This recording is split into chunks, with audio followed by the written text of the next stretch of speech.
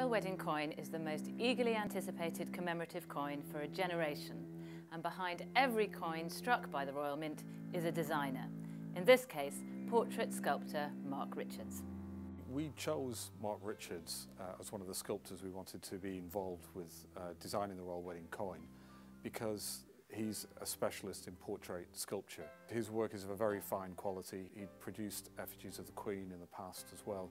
And, and so when this project came up, when the Royal Wedding uh, coin came up at the back end of last year, I, I knew Mark had the ability to deliver a terrific likeness for us, and, and, and that's proven to be the case.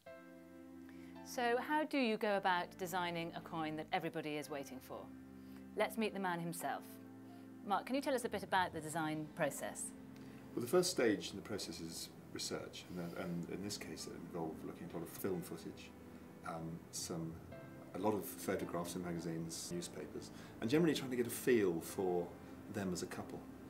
And then when an idea then develops, I start sketching. And in this case, I started sketching along the lines of a double portrait. I was trying to capture that sense of uh, an, int an intimacy and a real sense of friendship. Mm.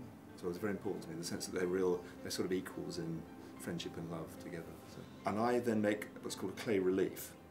Um, and I make it quite, I make it to this size, which is about 300 millimeters across. And, and I start modelling the image in clay. So can you say a bit about how you came up with this composition?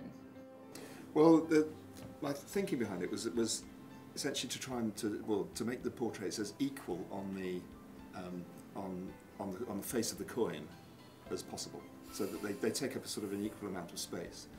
And then to place them so that the distance between the two heads is suggests a sense that you've just caught a moment between them. That they're, they're not so close as they look as they're going to bump into each other, and not so far apart as they look distant. Just to, to try and capture the relationship in a way happens as much in that space.